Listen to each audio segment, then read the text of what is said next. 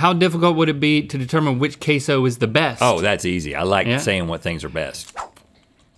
I like this queso. there was a chunk of something in that queso. Is that got sausage in it? It's got some little beads like That's Is good. that boba? Is that, does it have boba in it? It's a it? seven. It's a solid seven. yeah, that's what I was thinking. Huh.